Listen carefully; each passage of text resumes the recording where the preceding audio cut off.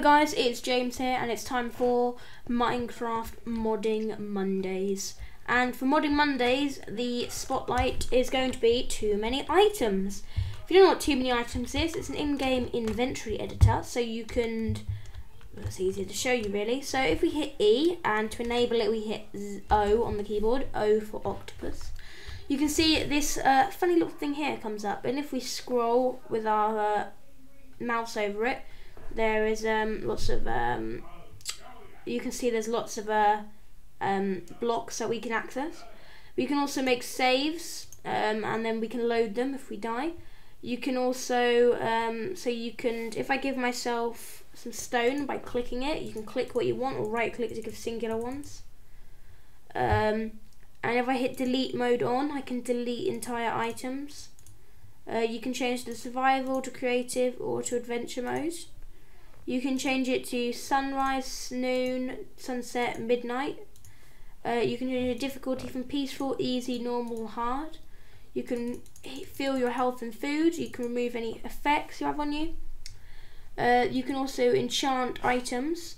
Um, so if I get this pig and I call it host of the game, and I can give it fortune 5. There you go, I've got a pick with fortune 5. So yeah, that's quite useful.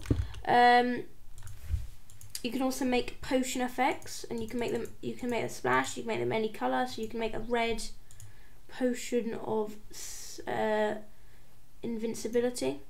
Um, they also add. You can also make custom fireworks, and they also add for single player. Uh, if I just get rid of all these by holding shift, they also make custom fireworks so you can see. It's better time to make it night actually. Oops, sorry. It's creative mode, um, night time. So yeah. So we've got the creepy sparkler, which makes a creeper. We have the star.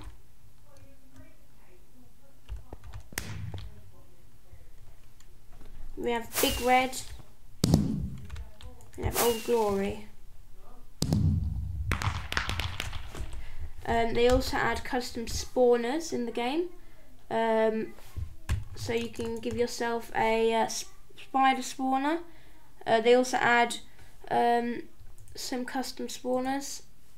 They also um, see that spider jockeys and zombie villagers. So they add TNT random fireworks spawner.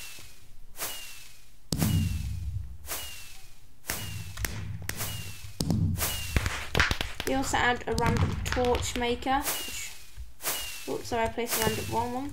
They also make torch makers, so it, uh, will place torches uh, in a very far distance, but very far away.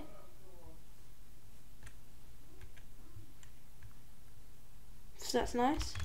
And if you're on a multiplayer server, you could also have uh, permission to um, uh, you have permission to change the time, but you cannot use any of the effects, spawners, or fireworks, sadly. So yeah, I hope that um, helps you with an amazing mod. It's um, you can find the link to it in the description. Um, this hope you hope hope this video helps you. See you later and goodbye.